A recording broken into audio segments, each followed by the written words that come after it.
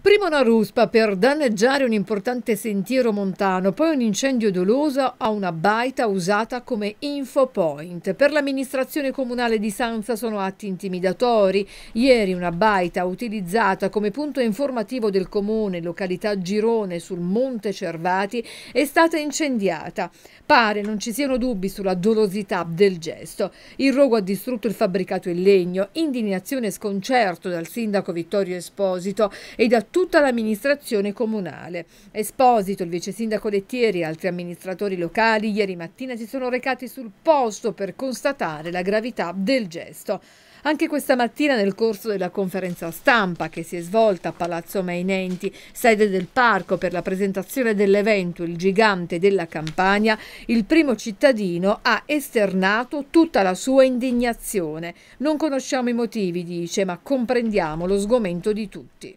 Non è la prima volta, è un gesto bruttissimo perché noi stiamo profondendo uno sforzo enorme per valorizzare il nostro territorio e per portarlo fuori dai confini eh, del nostro comune, però nonostante questo, questo atto vandalico ci, dire, ci lascia l'amaro in bocca perché eh, non pensavamo, perché non, eh, abbiamo chiesto un'integrazione seria tra la i cittadini che antropizzano la montagna e i turisti che dovrebbero poi usufruire della montagna. Credo che sia un gesto isolato, spero che sia un gesto isolato, però che sicuramente perseguiremo in modo serio. Ecco, ma perché secondo lei cosa c'è dietro a questo uh, atto? Ecco, un, gesto così di qualche uh, scalmanato, un'intenzione seria di distruggere il nostro patrimonio, qual è la motivazione? Ah, la motivazione credo sia solo un atto di vandalismo, dietro non ci sono organizzazioni perché da un punto di vista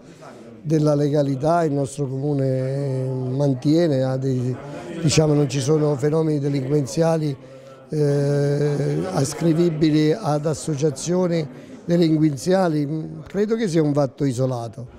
Eh, staremo con la guardia alta, staremo a presidiare il nostro territorio insieme a tutti i cittadini, ricostruiremo a breve anche l'infopoint del Monte Cervati. Detto questo speriamo bene di passare una buona estate e di farla passare a tutti i turisti che verranno a Sanza.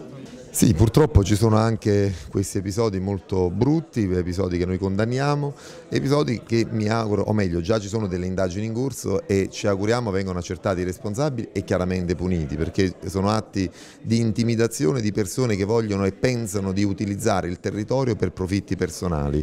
Eh, chiaramente queste persone sono sempre dalla, noi saremo sempre dalla parte opposta, riteniamo che sono esattamente quel modello che va combattuto, questi luoghi sono luoghi di una tale bellezza che devono essere appunto patrimonio pubblico, non possiamo pensare che eh, possa essere soltanto a vantaggio di qualcuno e quindi chiaramente noi nel condannare questi eh, episodi, nell'esprimere solidarietà alla comunità chiaramente di Sanza, all'amministrazione comunale, il sindaco della comunità di Sanza, diciamo che terremo alta l'attenzione su chi pensa di speculare e di fare profitto personale.